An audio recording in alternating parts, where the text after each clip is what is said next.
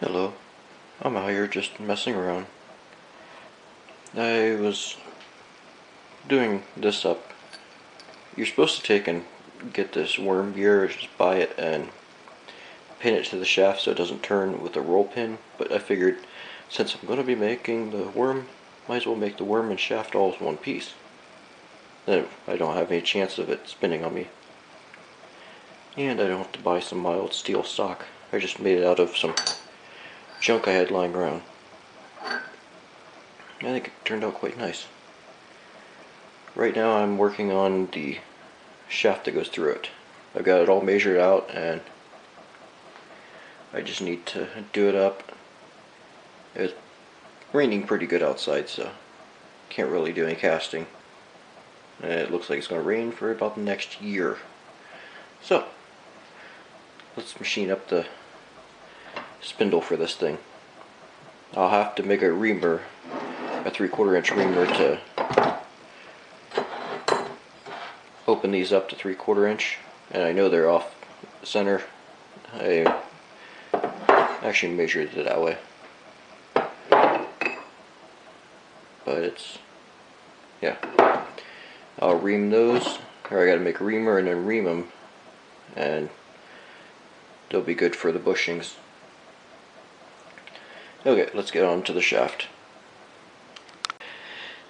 Okay, I've got the thing halfway machined. It's a nice sliding fit on the gear, or the shaft is. It's nice, nice fit, and I've gone up pretty much four inches, which I'll trim the rest out when I get it all together move this out of the way here. Now the other side I'm going to do the same but leave a quarter inch boss right in the center here which will ride on the back of the worm gear. So we'll get to machining that. I'll get this flipped and start machining it down.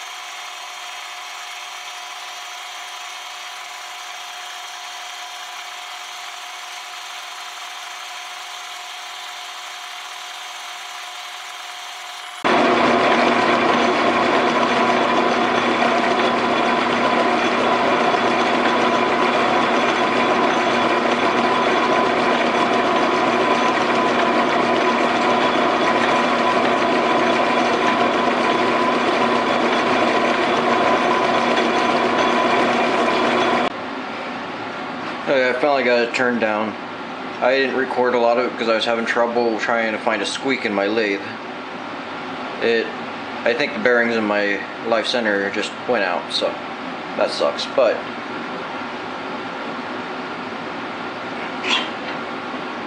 a nice sliding fit and no play.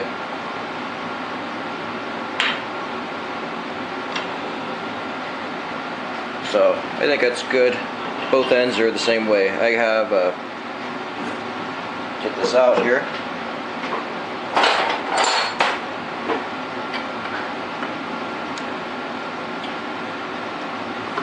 I wrapped the other end of the shaft in a piece of brass shim to keep it from marking it.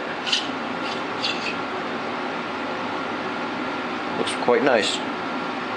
Let's go put it in, see how it looks. I know it's way oversized, but yeah. Okay, I got this collar here actually registers on here. And there's a reason for that. Nice tight fit. When this thing's being used, this is going to be the front of the dividing head. and all the forces are going to be pushed back this way. Back this way. So that's collar built into the shaft is actually pressing against the gear and the whole back frame. And it'll keep everything solid. It is a bit longer than it needs to be. I gotta take a measure off two and a half or two and a quarter inches. And cut it off or face it off to that point and then do a 60 degree point on it for center. This will have to be cut down to size and a collar will have to go on here. But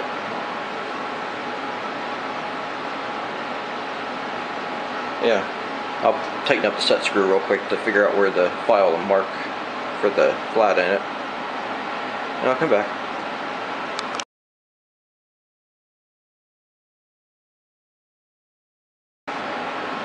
There, got mark for the back side and one right here. I'll, I'll just part it, or I'll turn it down till it's nothing, then I'll do the 60 degree point right here, and this one will be faced off on the end. And then onto the set screw collars and everything else for taking up backlash in the back.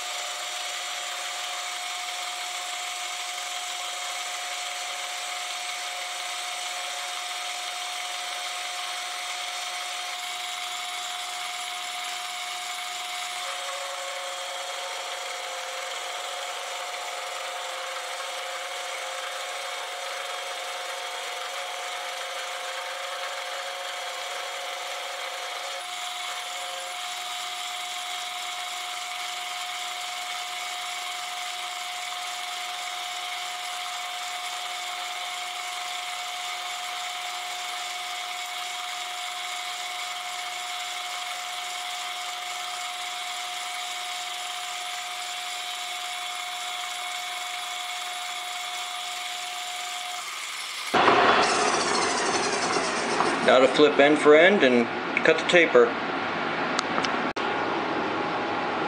Okay, I got it indicated in. It's within a half a thousandths or so. So I think that should be good enough there.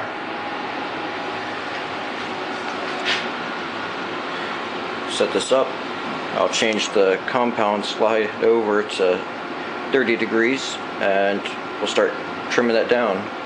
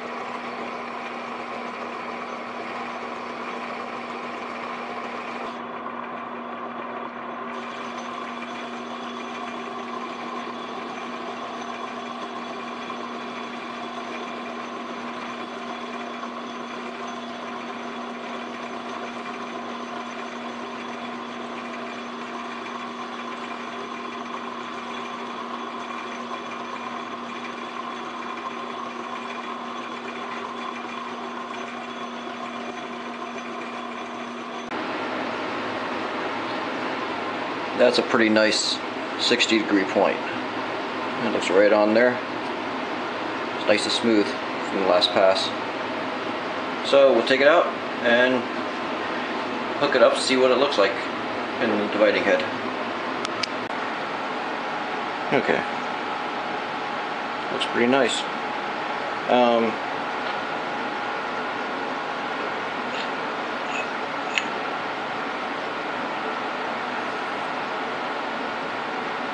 swivel back and forth till the set screw bottoms out on flat.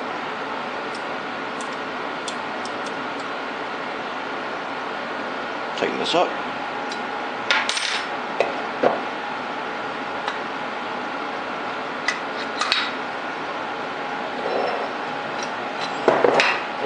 There. And it is exactly two and one quarter inches. Oops. Sorry about that. Yeah, two and a quarter inches right here. Sticking out the front and it just clears the back. So enough to put the locking collar and everything on. I gotta get a real bolt for this part here. I just have it in there to hold the spindle lock in place.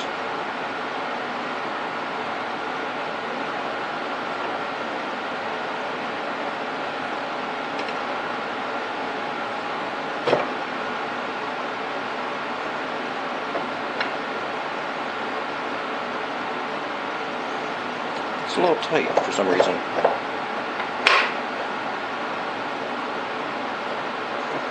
You might just need some oil in there. But it's, yep. Um, the, this part here actually is a mandrel for doing the discs. These here it gets bored out and you use it the whole dividing head like this on the drill press so that you could drill the holes perfectly concentric to the outside. And this one goes on in the same place. And it's drive dog for turning between centers. So that's done.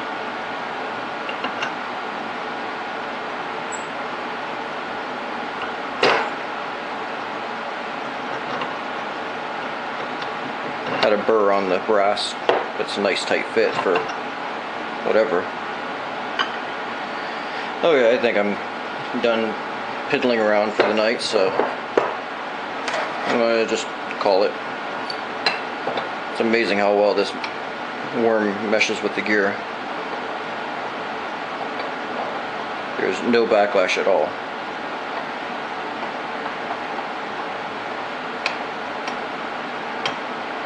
So, once it's in there and tightened up, yeah. Oh, okay, I'm gonna call it quits. I'm getting tired and it's getting late, so. Alright, thanks for watching. See ya.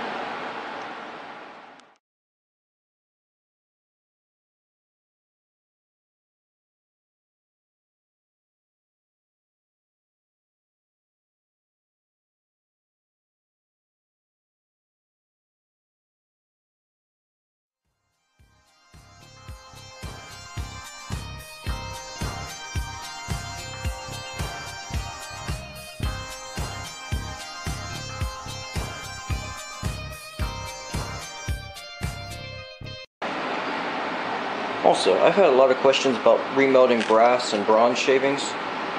Um, I usually just take and run my furnace a little bit rich, which means I have excess fuel, but that's not hard to do with an oil burner. And I, I run it rich, and before I put it in the furnace, I mix a crap ton of borax with this when the borax starts melting, it, or before the this starts melting, the borax actually acts as a barrier for the oxygen, so you won't lose very much out of this. You might lose just a tiny, tiny amount, but not much. Now, aluminum, on the other hand, suck it up with a vacuum cleaner. It's not worth it. It oxidizes faster than anything, and there's no way to prevent it.